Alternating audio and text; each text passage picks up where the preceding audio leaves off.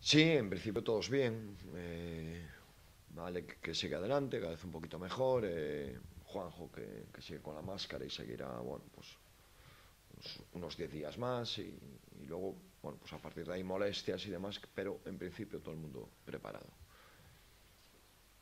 Os, enfrentabais en pretemporada a García, vosotros habéis crecido mucho, pero yo creo que estudiantes particularmente, ¿no? También por la cantidad de juventud que tiene sus filas. Sí, yo creo que los partidos de pretemporada y, los partidos oficiales se parecen en, casi nada, ¿no? Para empezar, porque han llegado nuevos jugadores a ambos equipos, han incorporado otros jugadores y ha pasado el tiempo. Y, en pretemporada apenas llevábamos ambos equipos, pues no sé, dos o tres semanas juntos y ahora ya han pasado, ya han pasado un par de meses, ¿no? Entonces, bueno, las comparaciones en este caso para poco sirven. A pesar de esa juventud que tiene el estudiante Moncho, ¿qué destacarías del equipo madrileño? ¿Qué hacen especialmente bien? ¿O en qué crees que han crecido hasta ahora? Bueno, yo creo que tienen juventud, porque la tienen, lógicamente. Eh, está, bueno, pues Juancho con un papel importante, ¿no? Eh, bueno, Brizuela, eh, que también está participando y jugando francamente bien, pero bueno, eh, Salgado, Xavi Rey, bueno, Bircevic no, no, son unos niños, ¿no? Es decir, yo creo que tienen un buen, un buen equilibrio entre, entre juventud y veteranía, yo creo que parecido a, a como tenemos nosotros, ¿no? Entonces muchas veces asociamos eh, estudiantes con juventud, es cierto que la tienen, pero también tienen jugadores eh, ya veteranos, contrastados y, para los cuales la liga no es una novedad. Eh, aparte muchas veces, o casi siempre, la juventud conlleva también descaro, desparpajo, ¿no? ahí está por ejemplo el, el caso de Juancho. Sí, lógicamente, lógicamente, en nuestro caso el de, el de Santi, ¿no? Eh, cuando jugadores jóvenes eh, destacan es porque tienen no solo la calidad, sino, eh, bueno, pues eso, lo que tú has llamado desparpajo, jeta en el sentido positivo de la palabra, ¿no? El tomar decisiones, el arriesgarse, ¿no? Pues Juancho el año pasado pues ha tenido un papel más al margen o menos protagonista y este año, bueno, pues yo creo que Diego está sabiendo encontrar y explotar las mejores virtudes de, de un jugador que tiene un futuro esplendoroso. ¿Se hacen especialmente bien? Pues yo los he visto muy, muy, muy agresivos desde el punto de vista defensivo, crecen mucho, presión a toda pista, líneas de pase. Eh, y luego creo que ofensivamente es un equipo, eh, yo lo calificaría como muy inteligente, desde la sencillez eh, táctica, saben buscar las ventajas, aprovechar, un equipo imprevisible en el sentido más positivo de la palabra, en que cada vez están buscándole las cosquillas al rival, eh, un equipo poco automático y sí muy inteligente.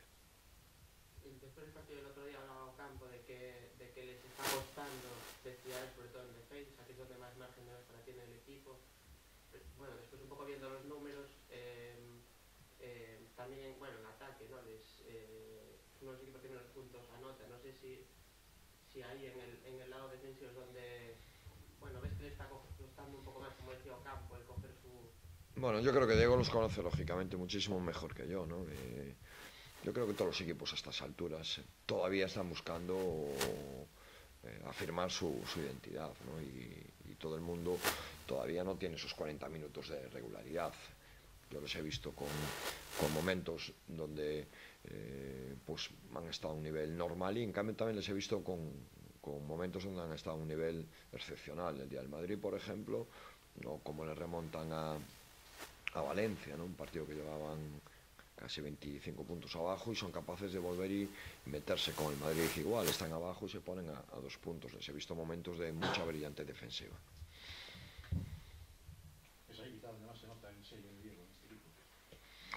Este. No, yo creo que en la, en la filosofía en general, eh, defensiva y ofensiva. En el aspecto ofensivo también se nota mucho el, el, el sello de, de Diego y, como te decía, creo que el baloncesto de Diego necesita, necesita tiempo eh, porque mm, le da muchísima libertad a los jugadores a la hora de tomar eh, decisiones desde el punto de vista ofensivo y yo creo que con, el tiempo iremos eh, viendo mejores estudiantes y además, sin duda, cuando hablamos de juventud, bueno, pues hay jugadores que van dando pasos hacia adelante y que van ganando protagonismo. Pero respecto a la, a la, pregunta, yo creo que el sello de Diego se ve en, los dos, en las dos partes del campo.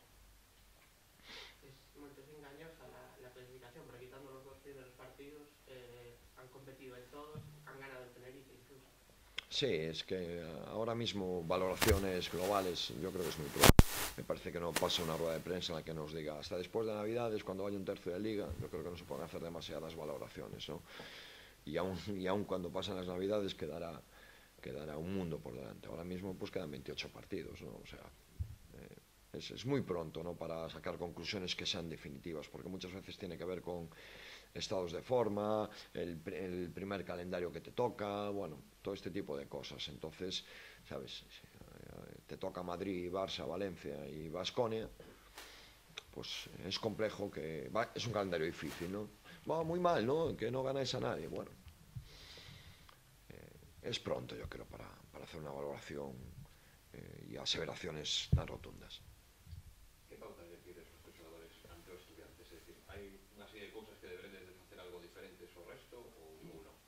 No, ao final o, o as cousas sinxelas son as cousas básicas, os básicos hai que facelos ben sempre, ter un bo eh, traballo defensivo, ter un bo traballo no, no rebote defensivo que autoridade en Barcelona, por exemplo, pese a encaixar só 67 puntos, que según leín por aí era a anotación máis baixa do Barcelona en dous anos e pico como local, pois a, a de iso creo que temos capacidade de mellorar no aspecto defensivo e, e aí temos que ser vos rebote, porque dende ese rebote imos poder correr, que tamén algo que queremos que queremos eh, facer.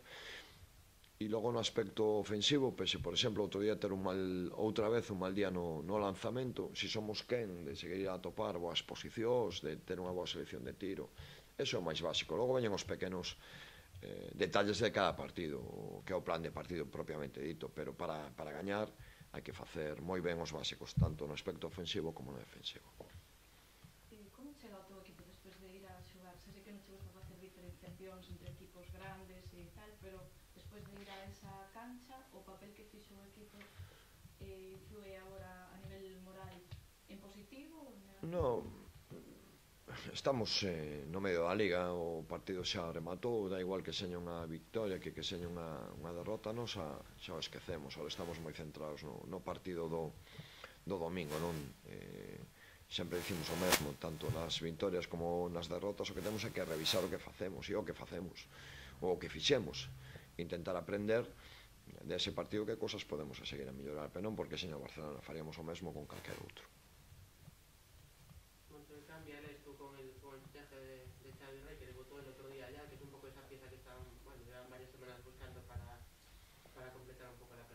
Bueno, pues aporta lo que aporta eh, Xavi, ¿no? Eh, presencia interior, defensa, rebote de ataque, eh, las continuaciones de, de, pick and roll, quizás sea el jugador más interior de, de sus interiores, valga la redundancia, ¿no? Porque después, pues Vircevich o Nacho Juancho muchas veces casi están más cerca de, ser aleros que, que, de ser pivots. Yo creo que con Fran Guerra son los dos 5-5 de, de estudiantes.